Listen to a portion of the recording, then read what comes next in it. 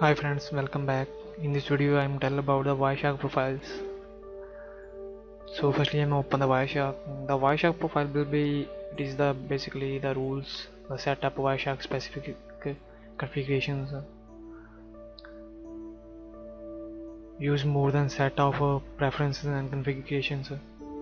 In Wireshark profile it is be easy to use the switching between profiles and uh, if you are working on the Wireshark uh, you will be capturing some traffics it is uh, finding some specific things from the network.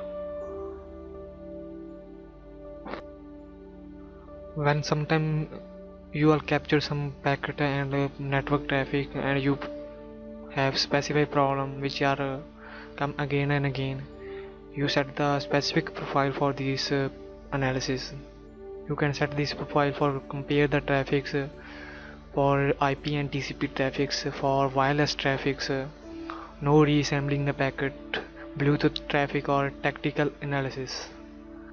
In this if you want open the Wireshark and in the front of you the bottom of the screen there is a profile panel. If you click on this there is a lot of profile will be available if you click on default the default profile will be set. You can choose from here. You can also choose from here edit menu and go to configurations file. The shortcut key shift control a and click on this.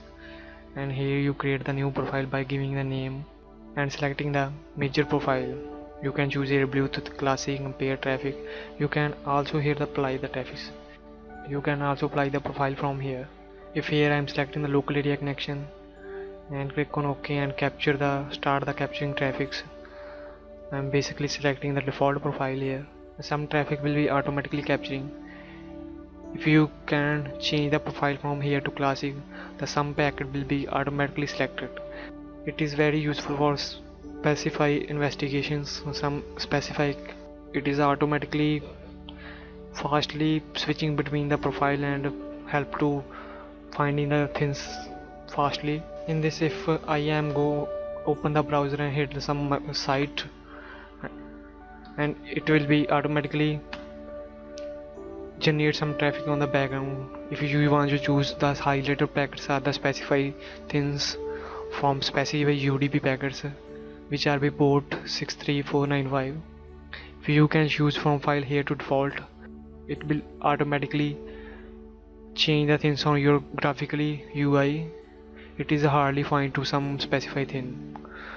If you can change from here to another traffics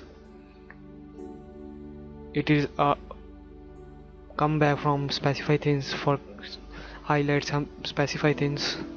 So this is the all about profile. Profile is very powerful in Wiresharks for analysis. Thanks guys for watching. Keep subscribe my channel